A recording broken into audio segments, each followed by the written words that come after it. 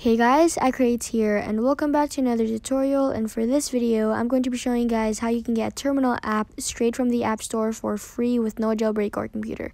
Now I don't know why they allowed this app to be up on the app store but it is right now so make sure you guys go ahead and get it before it gets taken away.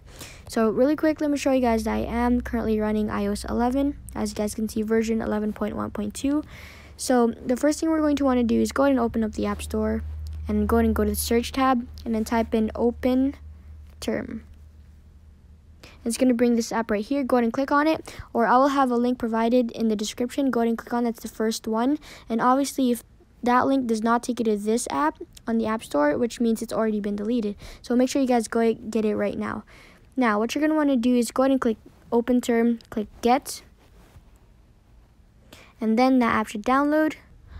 Alright, now once that's downloaded, go ahead and click on the open tab and it's going to take us to the app. Now it's going to say the name of your device. In my case, it's iCreate's iPhone. Now if you go ahead and type help, click return, you will have a list of command prompts. Now honestly, I do not know what these are and what they're for and what they do.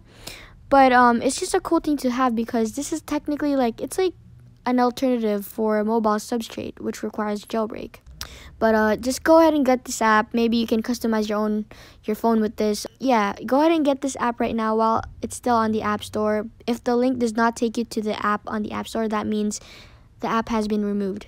That's pretty much it, guys. I'm going to wrap this video up. It's been iCreate, and I'll see you guys later.